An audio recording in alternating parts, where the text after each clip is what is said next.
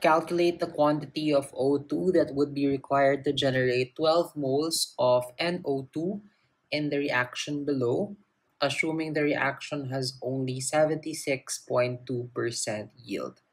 So we are given here the reaction, balanced chemical reaction.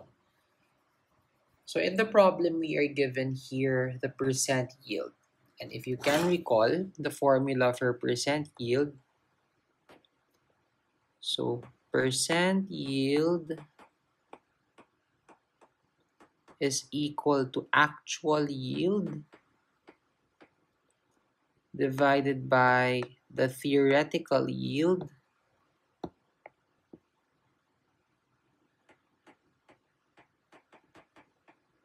times 100. So the given percent yield is 76.2% that is equal to the actual yield of the product, which in the problem is 12 moles of NO2. So 12.0 moles is the actual yield divided by the theoretical yield, which we do not know. It's not given in the problem, times 100.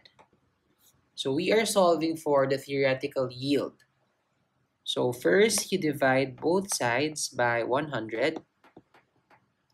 So 100 cancels on the right side. So on the right side, we have now 12.0 moles divided by theoretical yield. And on the left side, we have 76.2 divided by 100 which is equal to 0 0.762. Then what we do next is we cross multiply. So that will give us 0 0.762 times the theoretical yield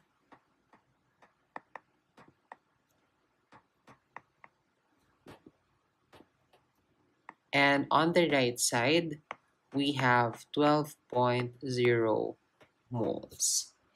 So to solve for theoretical yield, we divide both sides by 0 0.762. So 0 0.762 cancels on the left side. So on the left side, we have the theoretical yield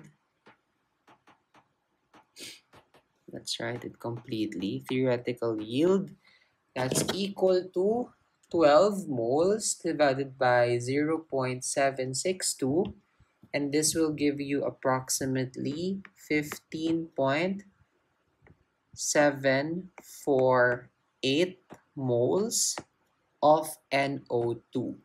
So this is the theoretical yield of NO2. But in the problem, it's asking for the quantity of O2.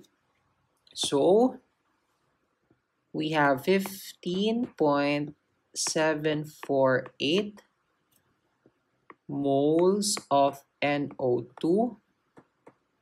Let's multiply that by the mole ratio between NO2 and O2.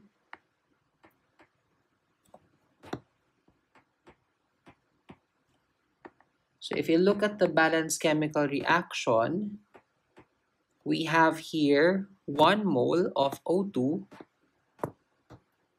and 2 moles of N2O. So that will be the ratio. 1 mole of O2, 2 moles of NO2.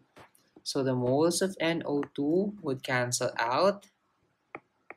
So 15.748 times 1 divided by 2.